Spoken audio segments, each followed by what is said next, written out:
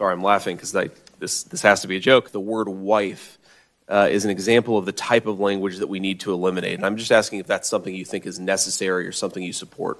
I'd have to give that one some more thought. I, if there's a pilot who is offended by the word wife or the word cockpit, maybe that person shouldn't be a pilot. Rather than kowtowing to people who are fragile, maybe we should actually say if you're so worried about the words that we are using, you shouldn't be flying multi ton metal engines through the sky. I just ask all of us to maybe try to focus as much on real problems, like the fact that our aviation system seems to not be working as well as it used to, than the fact that we may use uninclusive or under inclusive language.